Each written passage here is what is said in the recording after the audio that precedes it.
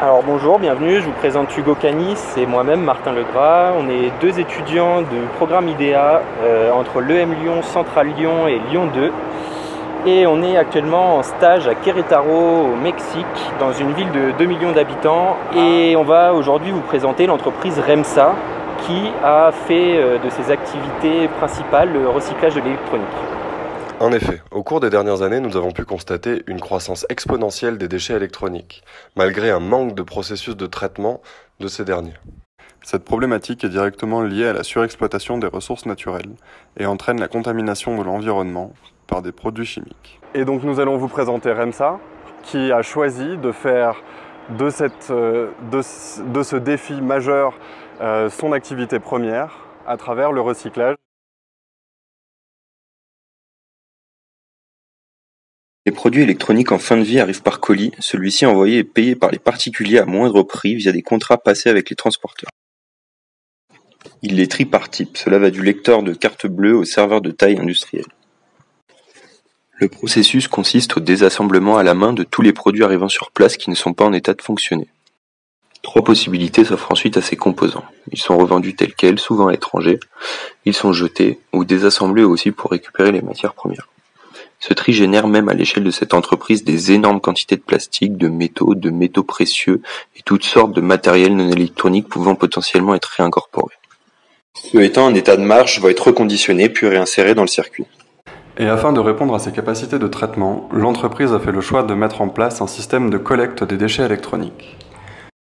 Ce service s'adresse à la fois aux industriels via des contrats préétablis, mais aussi aux particuliers au travers d'une application. Celle-ci s'appelle RERAP, elle facilite l'envoi des déchets et permet à chacun de suivre l'impact de ses efforts sur l'environnement.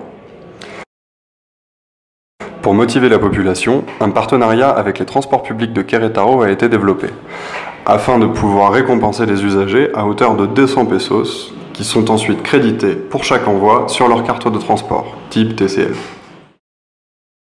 Hola, entonces somos Antonio, los responsables de la área de revalorización y que va a presentarnos este paso. Ok, muy bien. Nosotros lo que hacemos es cuando ya se tienen las piezas recuperadas de los electrónicos, vienen acá a un área, eh, se les pone un SKU, eh, se limpian los motores, le tomamos fotografía y se suben a una página web que se llama Ecomaker Store. Ahí cualquier persona puede encontrar los productos. ¿Y a cuál precio?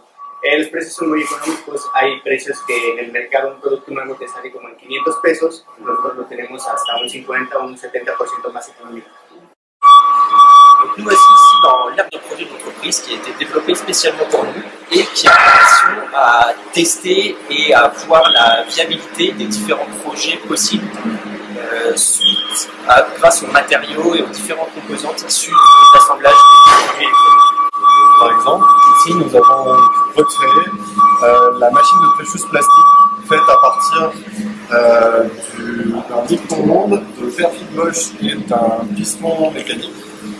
Ou encore ici, par exemple, où nous avons développé un incubateur à champignons fait à partir uniquement de pièces recyclées, à l'exception du thermostat qui nous aide à gérer la température. Hay una parte muy importante para nosotros que es la parte de educación de nuestro modelo y que existe a través de la organización Punto Verde. Entonces, ¿cuál es Punto Verde? Sí, Punto Verde es nuestra organización civil, es un brazo social que se dedica a capacitar personas en cuestiones ambientales. También ah, generamos eh, capacitaciones, donaciones de computadoras recondicionadas y apoyamos a generar campañas a nivel comunitario para apoyar líderes ambientales. Esa es nuestra gran labor. Ayant fait le choix de se positionner et de développer son activité en fonction des points énoncés par les Nations Unies en matière de développement durable, REMSA a su créer des alliances avec les collectivités de toute taille associées à une organisation synergique de ces activités. Qu'elles soient dérivées de leur activité de recyclage ou sur un volet purement éducationnel, REMSA a pensé son modèle afin de participer au mieux au bien-être de la communauté qui l'entoure.